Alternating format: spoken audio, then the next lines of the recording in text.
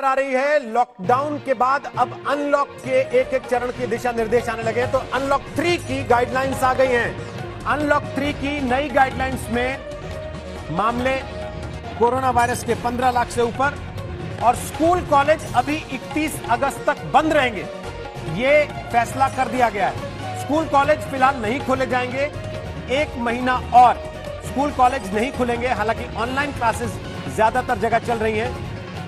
उसको मंजूरी रहेगी। मेट्रो रेल और सिनेमाघर पर पाबंदी अभी जारी रहेगी। मेट्रो रेल फ़िलहाल नहीं चलेगी। सिनेमाघर अभी नहीं खुलेंगे। मास्क लगाना अब भी ज़रूरी होगा। अनलॉक थ्री की गाइडलाइंस के तहत भी मास्क लगाना अनिवार्य है। मास्क के नियम जस के तस रहेंगे। 31 अगस्त तक स्कूल, कॉलेज बंद रहेंगे, नहीं खोले जाएँगे। फ़िलहाल मेट्रो नहीं चलेंगी। फ़िलहाल सिनेमाघर नहीं खोले जाएँगे।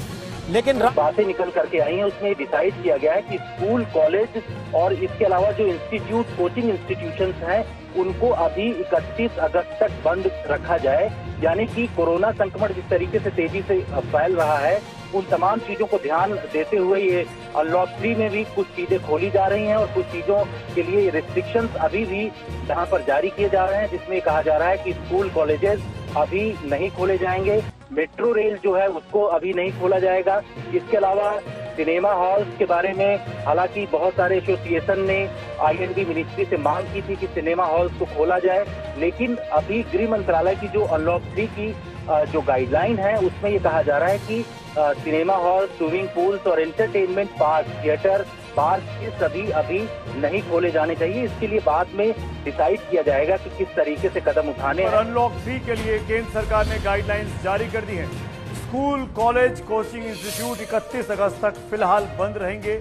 Cinema hall swimming pool theatre entertainment park भी फ़िलहाल बंद रहेंगे। अच्छी खबर जिम के लिए है, योग संस्थानों के लिए है, जिनको 5 अगस्त से खुलने की परमिशन मिल गई है, लेकिन इनको नियम कायदे एसओपी फॉलो करनी होगी।